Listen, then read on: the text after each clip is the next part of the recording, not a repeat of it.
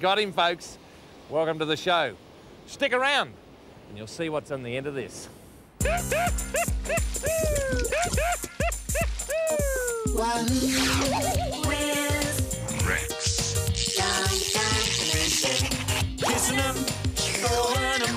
Oh, thank you, mother, for the rabbit.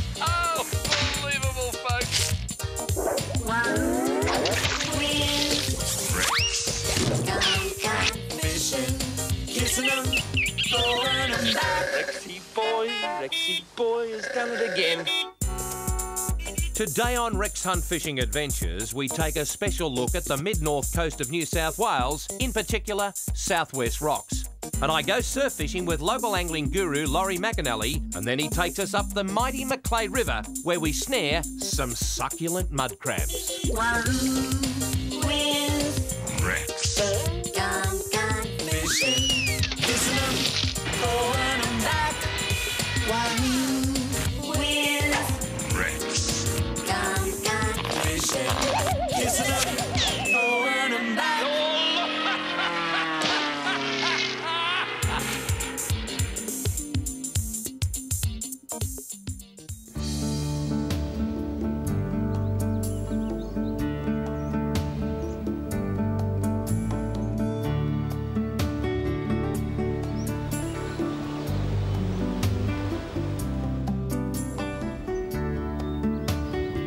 Welcome, folks, to a half hour special look at the mid north coast of New South Wales. Today, I'm at Southwest Rocks, and over there, Hat Head, in between Smoky Beach.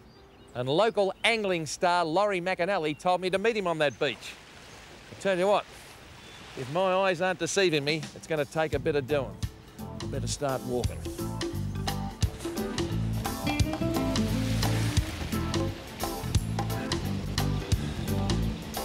Water. Water. Where is he? Ah, there he is.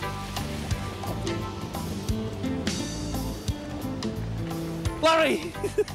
God, Rex, you scared the life out of me. I tell you what, folks, Laurie McEnally, half of the famous McEnallys of the mid-coast of New South Wales. Sir Lawrence of Arabia's camel never walked over that many sand dunes, mate, but I tell you what, man, a magnificent looking beach here, son. Just a short walk, Rex. Not what do- far. What do you got in mind for us? We've got some nice fish coming off in the, all these gutters here. There's a few whiting and bream, and uh, it's the right time of the year for a good catch of fish. We'll just wait for the light to turn green, and then we'll go fishing. It's like fishing on the Hume Highway. Let's go. Clear to the left, clear to the right.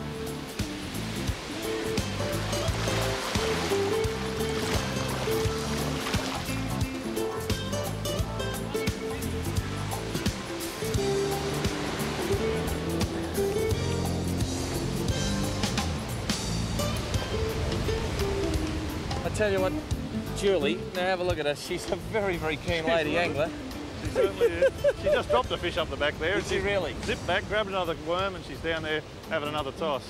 There should be a few fish here, Rex. No two ways about it. Folks, I've just got a light helmet type sinker. They use ball sinkers up here, but I'm using the Victorian light rig that we use when it's not a big surf, and I can feel it rolling around the bottom.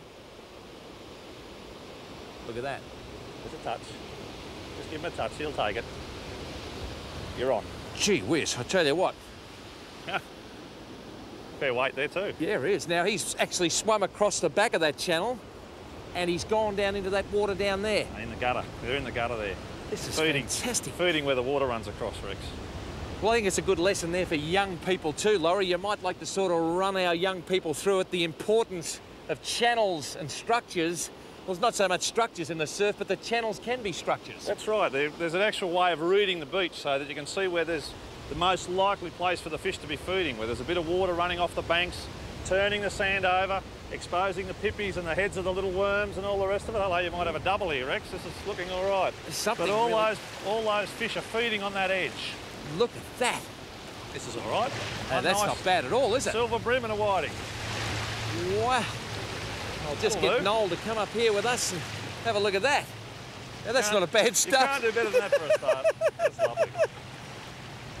Well, there you are, Laurie. I'll get you to hold that outfit. This one here, well, I'd call him a sand whiting. That's exactly what it is. Have a look at him. A beautiful fish. Now, he swallowed that hook. And folks, I'm not going to go too hard on him because all I'm going to do is nip the hook out there, give him a bit of a kiss, and as soon as the next wave comes up, but look at this magnificent fish here. Now, I'll let our little friend go there, and off you go, away he goes. And it's the same with this bloke here. I tell you what, beach worms, they seem quite savage. Now he might have a little bit of a lesion on him or something like that there. Yeah, it's had a little bit of a knock. No, that's something's attacked that fish at some stage. Yeah. And that's a scar that's healed up. That's a very good silver they- bream. Is it really? Yep. Beautiful. Um, from where I come from, I think they might call it a yellowfin bream, Yep. same species. Same, same animal. Yep. That, that these actually inhabit the estuary and the surf, Yep. and he's a male, folks. You can see there that the milt is coming out. And kids, that's the male of the species, that's the sperm that fertilises the eggs of the female. And that's why we must be very, very careful. And if we take a fish, take a small one just over legal size.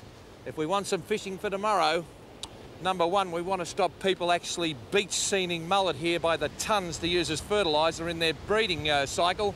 The most important thing is enjoy your fishing. There's always the next one for the frying pan. Gee, the tides keep on going out there. I tell you what, folks, that's not a bad sort of a start here.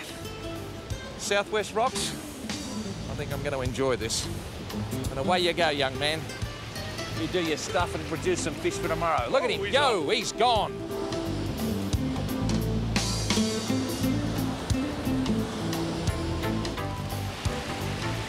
I think a very good thing in surf fishing right around Australia is that the 90 mile beach of, Vic- of Victoria syndrome, of the big long Rangoon cane about 16 foot long, and the 10 ounce star sinker is gone. And I tell you what, I'm in shorts. It's approaching winter. I tell you what, Laurie,